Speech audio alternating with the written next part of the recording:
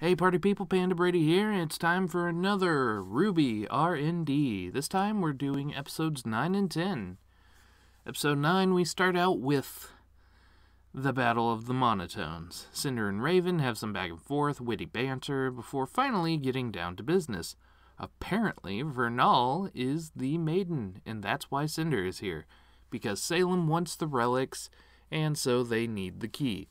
Cinder claims they'll leave the bandit clan alone if Raven helps them get the relic.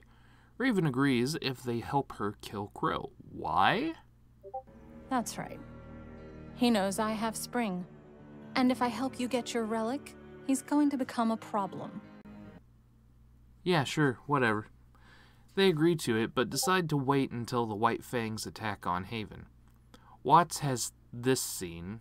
Don't think I don't see what you're after. If this falls to pieces over your grudge with a child, I will not be taking the blame. But honestly, you shouldn't worry. Let's put it that way. Cinder tells Watts to head back, and then we jump over to Menagerie, where the battle against the White Fang's assassination attempt is in full swing. But we don't stay very long. We hop over to Raven, who has the dumbest piece of writing in the season.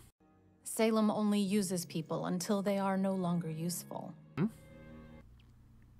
She's arguing over the fact that helping Cinder isn't a good idea, but she wants to help the tribe.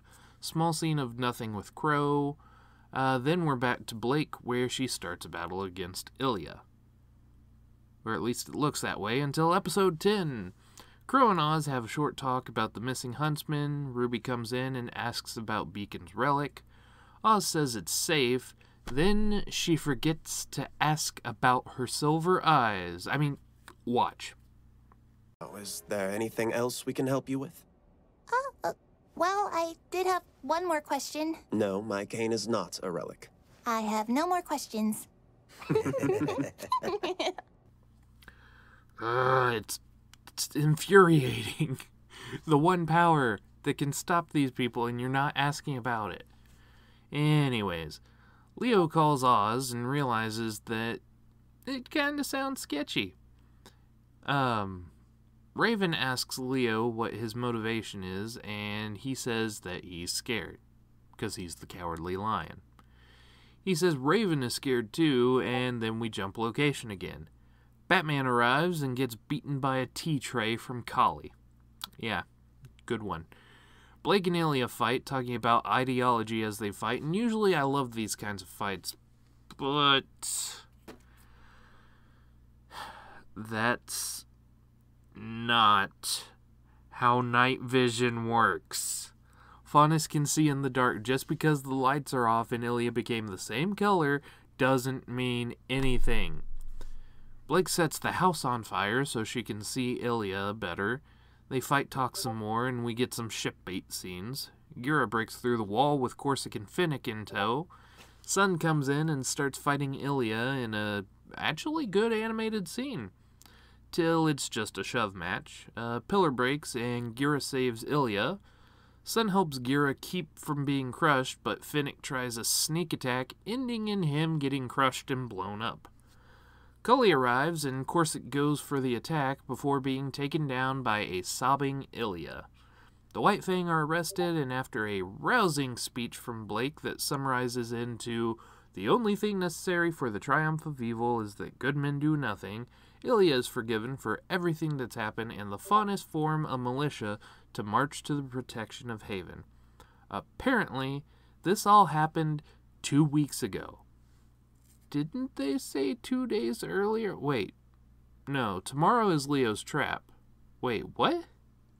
Timeline. Hey, sorry about that. The uh, recording got messed up there at the end. Anyways, I was just saying timeline why you make no sense. Anyway, so easy, easy enough to say this season is the worst season to me so far. But let's get into the categories. Animation only really shines when Ilia and Sun fight. Everything else is par for the course, though the lighting's pretty good. Uh, voice acting, the Battle of the One Notes wasn't as bad as it seems, though it could have been so much better. Cherami Leigh as Ilia didn't seem to give her all this time around, though that could mostly because all of her emotion had to go into crying noises for most of this one. Um, Story was a bit annoying because the timeline mess up there. Um, I liked Ilia's turn, but uh, I wish they would have shown something, you know, internal with it. But I guess that's just because I'm spoiled by 22 minute anime. These are about 12 minutes each.